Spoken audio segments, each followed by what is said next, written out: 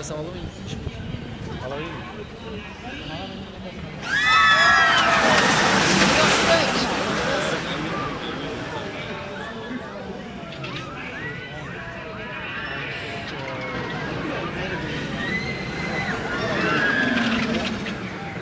Isto, é, isto também é uma grande